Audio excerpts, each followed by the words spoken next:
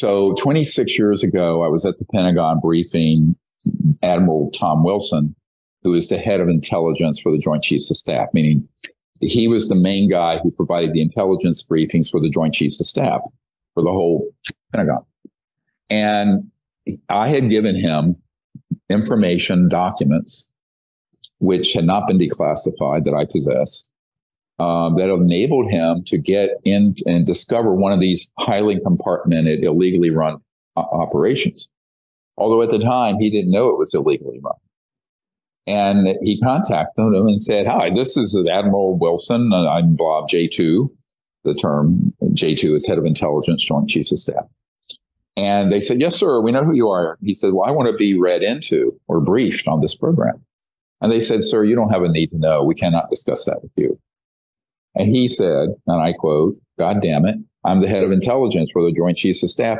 How is it I don't have a need to know? And they said, Sir, we cannot discuss this with you and blocked it, blocked him.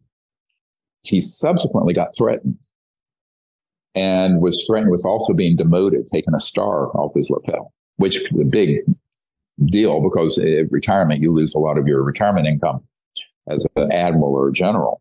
So he, what he said at the end of the meeting, which was a two or three hour stand up briefing I did at the Pentagon in his office. And actually, astronaut Ed, Edgar Mitchell was there.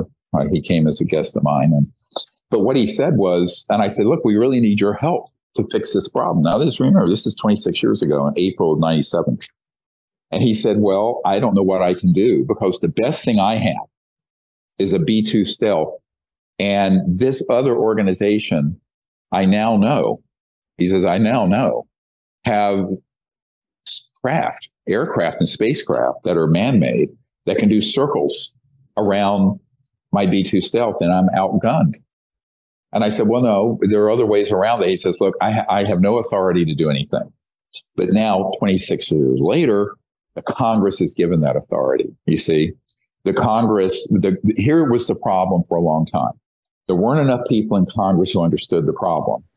Mm-hmm. And the president is what we call the unitary or chief executive. And it's very easy to intimidate or buy off or bribe or whatever one man, right? It's harder to do it with 535 people, right?